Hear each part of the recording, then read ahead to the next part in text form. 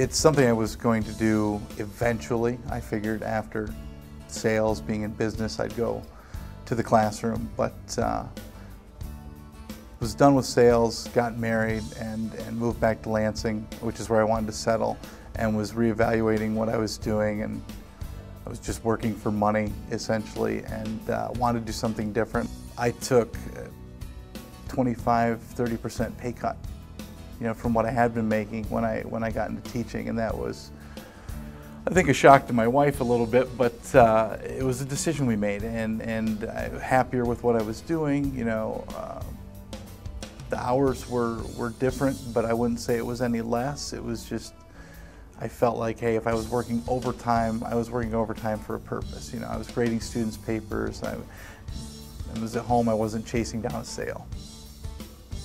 Seeing those students and, the looks on their faces that day of graduation and being that point person who read their name as they came up, it was amazing beyond belief. It was, it was much better than I expected. I was nervous about saying their names, and then, I mean, I knew so many of them, they knew me. It was very rewarding, and I, and I think that that typifies the sort of experience that, that drew me to teaching that I saw in family members, you know, that they had in their jobs, and, and, and I've gotten that now, that I feel like I'm doing more than just working for the paycheck.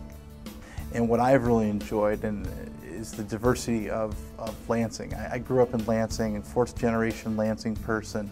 Um, and what we have in our student body is, is so rich. And being able to experience that every day and, and the stories that students bring, to me as an English teacher, I especially enjoy because it's something they can share in the class. Um, and I teach English as a second language as well, and those students who are coming from all over the world and various continents, you know, and, and our district has numerous languages that are spoken.